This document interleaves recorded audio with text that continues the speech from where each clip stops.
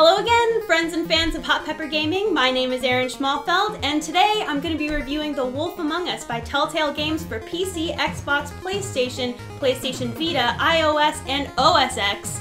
But first, I'm going to be eating this dried ghost pepper with a healthy dollop of Mad Dog Inferno, the original world's hottest sauce.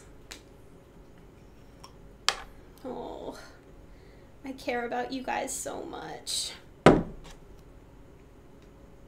This hot sauce smells amazing. It smells delicious. Okay, oh. Oh, it's crunchy!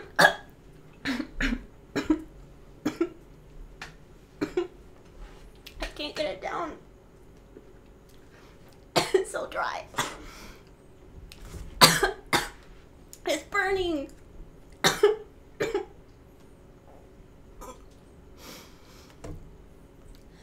Ugh.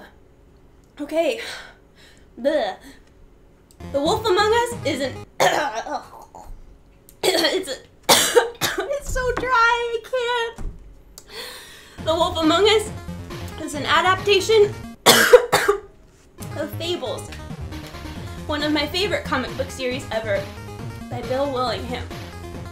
The first five episodes. this is awful are part of the first season, and they've been released over the past year or so. It's a point and click adventure game, which is characteristic of Telltale. Ugh. The choices that you make affect the rest of your gameplay. And at the end of each episode, they show you the breakdown of all the choices that the other players have made, which is my favorite part because you get to see how sadistic you are or how sweet you are.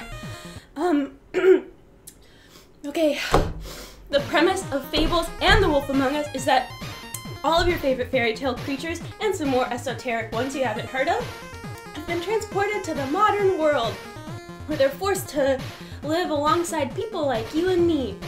And so as they do that, there's lots of intrigue and mystery and drama, and you get to play that out as Bigby Wolf, the town detective.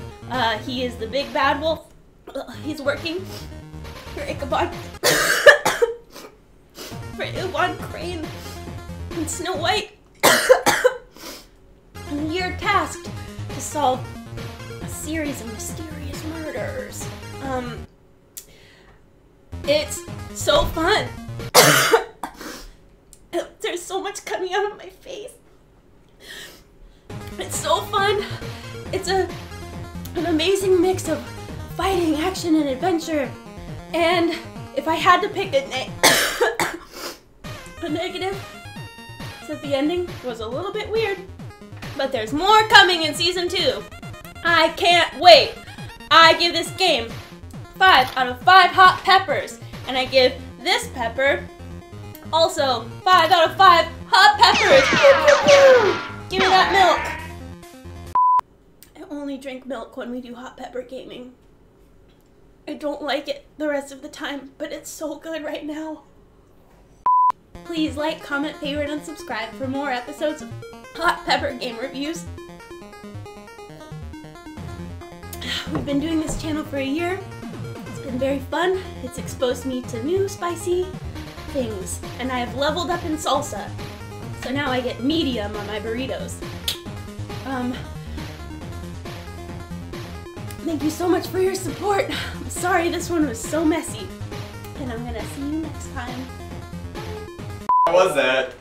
Do not recommend the dried. Great, we'll use it more.